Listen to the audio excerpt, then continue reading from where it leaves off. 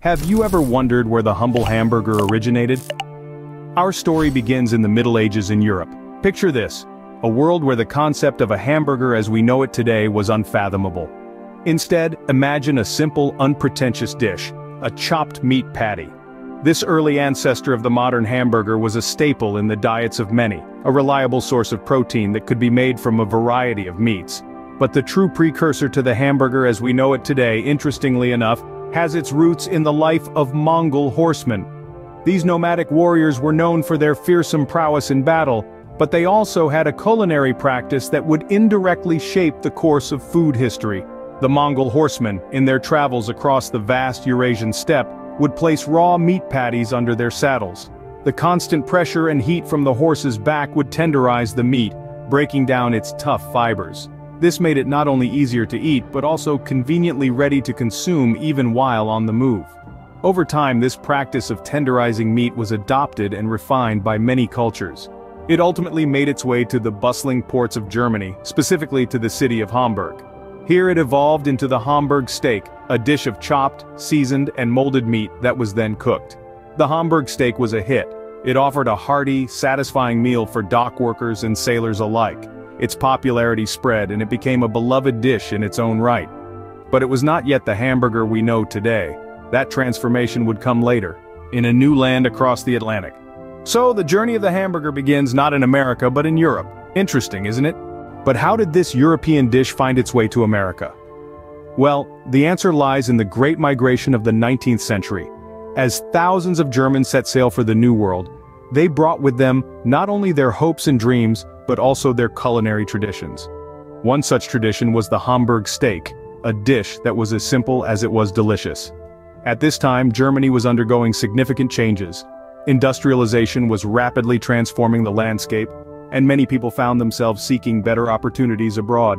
So, they packed their belongings, said their goodbyes, and embarked on a journey that would change their lives and, unknowingly, the culinary landscape of America. As these German immigrants arrived in America, they found themselves in bustling ports. New York, in particular, was a melting pot of cultures and cuisines.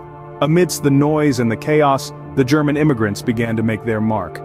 They opened restaurants and food stalls, and among the dishes they served was the Hamburg steak. This simple dish quickly gained popularity.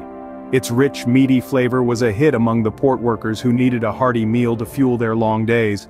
It was served on its own, sometimes with a side of potatoes or bread, but regardless of how it was served, the Hamburg steak was always a crowd favorite.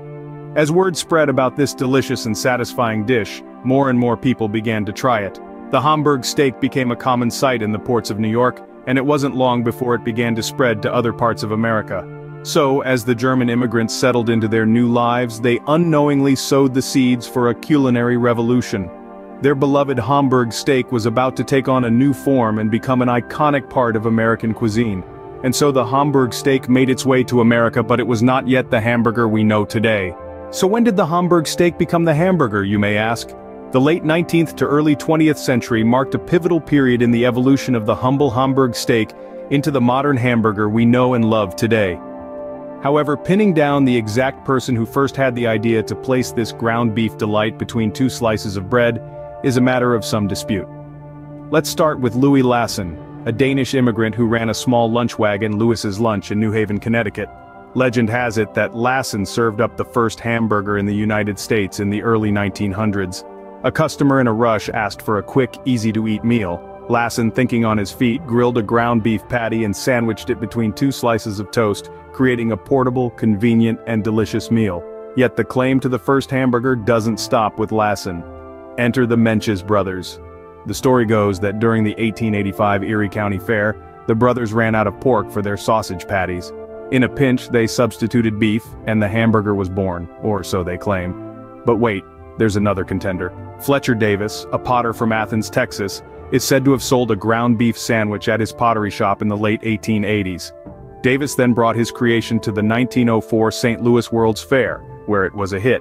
Each of these stories carries its own charm and a sense of authenticity, but regardless of who we credit for the creation of the hamburger, it's undeniable that this simple yet satisfying food item has left a lasting impact. It was the solution to a need for quick, handheld, and filling meals during a time of rapid industrialization and urbanization. The birth of the modern hamburger may be disputed, but its popularity was not. From Louis's lunch wagon to global fast food chains, the hamburger has become an iconic symbol of American cuisine, loved by many around the world. What turned this simple sandwich into an American icon? Let's delve into the mid-20th century and see how the hamburger skyrocketed to fame, thanks to the rise of fast food chains. The first on the scene was White Castle, founded in the early 20s in Wichita, Kansas. Their strategy? Selling small, square-shaped burgers, or sliders, at an affordable price. But it wasn't just about the cost. White Castle was among the first to introduce the concept of fast food, with their efficient assembly line cooking method. They made it possible for people to grab a quick tasty meal on the go, and America ate it up. Then came McDonald's in the 40s, taking the fast food concept to a whole new level. They revolutionized the food industry with their speedy service system, an assembly line method of preparing food that made their burgers even quicker to serve. This innovation not only made the hamburger a staple of the American diet, but it also set a new standard for fast food chains globally. But the hamburger's influence didn't stop at the drive-thru. It became a symbol of American cuisine, an icon of fast food culture worldwide. It was more than just a sandwich, it was a piece of America that could be packaged, sold, and enjoyed anywhere in the world. It was featured in movies, sung about in songs, and even became a symbol of American prosperity during the Cold War. The hamburger was no longer just a meal, it was a cultural phenomenon. And let's not forget its role in social gatherings. From backyard barbecues to fast food joints, the hamburger has been at the heart of American social life. It's the food we bond over, the comfort food we crave, and the quick meal we grab on a busy day. It's ubiquitous, it's delicious, and it's distinctly American. From a humble sandwich to an American icon, the hamburger's journey is truly remarkable. And as we'll see in the next scene, the story of the hamburger is far from over. So where does the hamburger stand today? The hamburger, once a symbol of quick and simple sustenance, has transformed into a culinary canvas for chefs and food enthusiasts worldwide. From gourmet versions gracing the menus of high-end restaurants, to the classic fast food staple we've all come to know and love, the hamburger has proven its versatility time and again. We find ourselves in an era where the hamburger has been redefined and reimagined. It's not uncommon to find hamburgers with exotic ingredients like foie gras, truffles, and even gold leaf. Take for instance the Fleur Burger 5000, served at Fleur in Las Vegas, which comes with a hefty price tag of $5,000, making it one of the most expensive hamburgers in the world. But it's not just about decadence and luxury. The hamburger has also adapted to the growing demand for healthier and more environmentally friendly food options. The rise of plant-based burgers is a testament to this.